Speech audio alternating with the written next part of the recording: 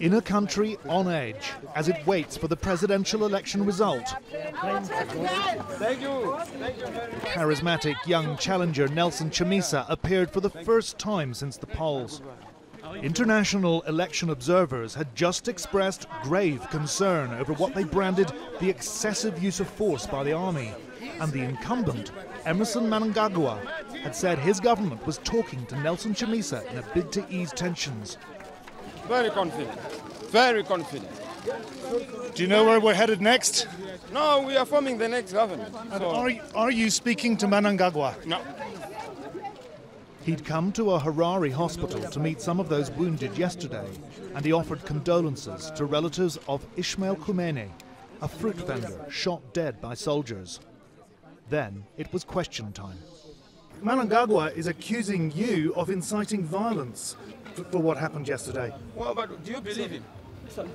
If you believe Mr. Mnangagwa is so unfortunate and tragic, you must look at the situation. You have an unarmed civilian who is attacked by live ammunition. Is that normal? Even in banana republics, is that normal? We must be able to also caution the government because they are trigger happy, they are bloodthirsty. But is it not your responsibility to also attempt to de escalate things now? But what is my responsibility? I don't own or command a wing of the military. This is the problem. You have soldiers who shoot indiscriminately. Mr. Mnangagwa knows that he has lost this election. If he had won this election, this election would have been announced long back. But they are trying to massage the figures to try and advance a fictitious and a fallacious result. But if Mnangagwa is declared the winner of the presidential I'm election glad. tonight, what will you do, sir? I'm glad you are saying if it's declared. Now, there's a difference between winning and being declared. If it's declared, then that's a different issue. so what will you do? What will you tell your supporters we to will do? simply go back to the will of the people. We have won this election. Mr. Mnangagwa knows it. ZANU-PF knows that we have won this election. Well, there you have it. Nelson Chamisa says he's in no mood to back off or back down. He's essentially declared himself the winner of this presidential race. The countdown is now on. The Zimbabwe Electoral Commission has said it will announce the presidential result within the next few hours.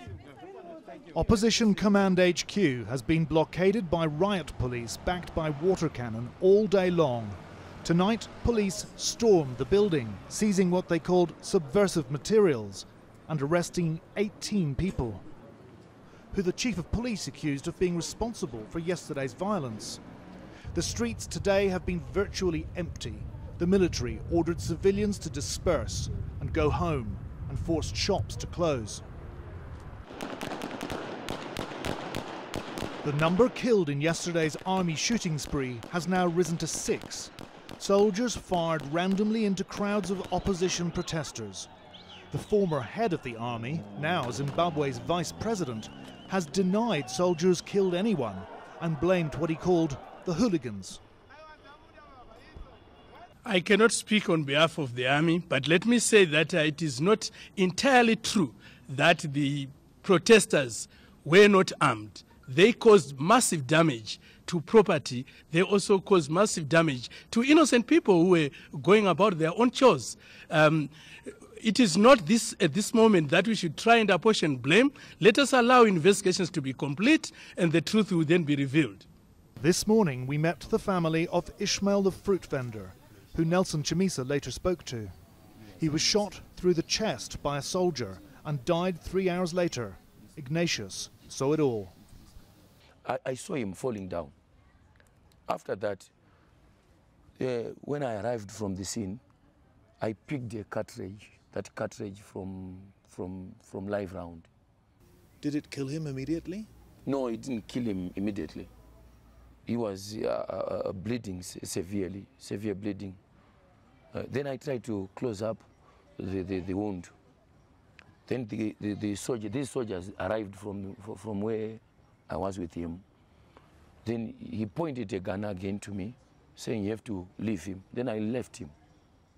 After leaving him, I, I just moved a few minutes, few meters again, but I was crying now. It's not good news for Zimbabwe. Yeah, yeah, yeah, yeah. It's not good. It's not good news for Zimbabwe, because we uh, we were innocent. In fact, he was innocent. Zimbabwe remains on tenterhooks. If people thought fixed or contentious elections were a thing of the past, like Mugabe, they might now be thinking again. Zimbabwe used to be called a police state. It may now have transitioned into a military state. Jonathan Miller. Well, joining me now live from Harare is Bright Matonga, former ZANU-PF spokesperson and Deputy Information Minister under Robert Mugabe. Bright Matonga, has ZANU-PF stolen this election? Uh, ZANU-PF has won this election uh, free and square. Uh, we've got two-thirds majority in parliament. People were allowed to campaign freely without intimidations. That was the first time in 20 years, you know, where we even invited uh, international observers to come and observe the elections. It was very peaceful. It is unfortunate that uh, the process, this peaceful process, has been hijacked by the MDC alliance. They wanted to cause chaos because they wanted to join government. They didn't expect to lose by this wide margin, and I think they had to be, you know, to you know to respect uh, the will of the people. So ZANU-PF has not rigged any election. It's very unfortunate that things had to go this way. They had to demonstrate, they had to use violence uh, so that there is sympathy from the international community. But they Mr. have caused the death of a number of people, which was unnecessary. Mr. Matonga, it's not, it's not the MDC who have been killing people on the streets. It is the Zimbabwean military ordered onto the streets by ZANU-PF. you know what? If you uh, um, get people to go into the streets. you declare elections when you are not the uh, Zimbabwe Electoral Commission. If you give people drugs, youth drugs, beer, you get them drunk. They they chase the police uh, officers. They go, they wanted to go and storm ZEC uh, command center. That's not a nice thing. Um, Mr. Nelson Chamisa is a lawyer. Tendai is a lawyer. They're very, they were very clear that they were not going to accept any result except the MDC one. And they've caused the death of these people. And it's very unfortunate. This shouldn't have gone to that level. They should have been patient enough to, you know, to wait for the results But to be why you know, has the be result been delayed? Then you can use the legal route. The, the, the result should have come days ago. This is a league. No, the, the results, um, the final results, uh, constitutionally uh, should be announced in the on the 4th of uh, August. That's what is in the constitution, because ZEC has to make sure that the result that they receive from the provinces, from the districts, from every corner that you know they match. It's a constitutional uh, mandate, and I think we all need to wait for, for that process to take place. Are you saying it's correct to use live ammunition against crowds who are drunk? In your, in your claim? you, you know, it is very unfortunate that this shouldn't have happened. People shouldn't have died. It's a learning curve for Zimbabwe that, you know, we, we have to follow the law. And uh, the government has to set up uh, a, co- you know, um, a committee to investigate this. Who caused this? Why was um, the MDC, why did they encourage the youth to beat up It- the it has been policemen, to burn cars, Matonga. to We've seen destroy it on property, television. to loot, uh, you know, We've seen the soldiers opening fire on unarmed protesters. sorry. This is very unfortunate. It shouldn't have gone to this level. It is the MDC, um, Chamisa and Biti who are to blame. They shouldn't have encouraged their supporters to go into the street and burn properties. They should have waited. You know, we don't support any use of violence. It's not good. Zimbabwe is a very fragile state at the moment. Yes. Well, who they is really in just charge? have waited. They're playing with people's emotions. I think Is the military really in charge Sorry? now? You know, they, they effectively forced No, Mr. you know, Mugabe our, out. Our police Are officers, they now really in our police officers, our police. No, our police officers were deployed uh, to, uh, po- you know, polling agents. The, in Harare, there were very thinly, um, very few police officers. It was the police that invited the army. And when you start um, uh, attacking, throwing stones, throwing, even firing live bullets to the, to, to the army, uh, you know, this is very unfortunate. We are not proud of this. We held a very peaceful campaign over the political parties. We didn't have to go through this process. We don't want people to die because of elections. Uh, Mr. Chamisa should hold his supporters, he should be held accountable He wanted to demonstrate this was a pre-planned exercise that um, they storm ZEC offices, they, you know, they nick all the papers, they bend them down, then there's no, you know, there's no election result. But it's this now is what clear, they wanted, isn't it? With the help of some foreigners, obviously. Well, well, whatever the truth of the It actual is very vote, clear that it was is a now clear that, that the MDC will not accept this result when it is announced tonight, if it is announced that, that Mr. Mnangagwa is elected president, because they will say this, this vote was rigged. So how do you go forward now? we are very surprised that uh, Mr. Chamisa is not contesting the results of the members of parliament because a, he's a very selfish, he's a bad loser. He, he was he's desperate, wanted to be the president of Zimbabwe. He, he, he obviously he miscalculated, um, you know, his campaign. He's a dictator. You know, he attacked women. He attacked his own party. He is, he's not the legitimate leader of the MDCT.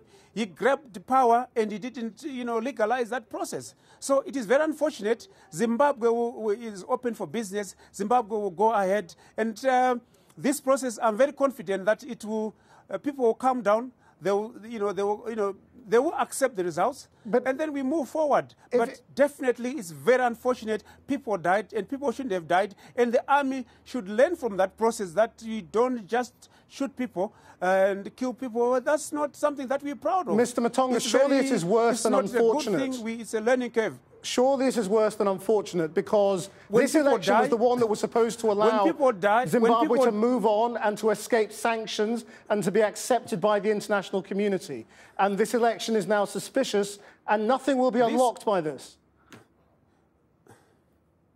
This, the, the elections in Zimbabwe are never an issue of the international community about Zimbabweans. We have elections every five years. And it's our responsibility. We have to sit down. Uh, both the, um, the president has to reach out to the opposition, to all Zimbabweans, and build a new Zimbabwe. Obviously, there are emotions whenever there are elections. MDC have been denying uh, the will of the people in every election. It's something that you, you know we all know that they say if it's not an MDC win, it's not a win. And you know there are bad losers. They have to learn from this process. They have to sit down and see where they went wrong, and they miscalculated the mood of Zimbabwe.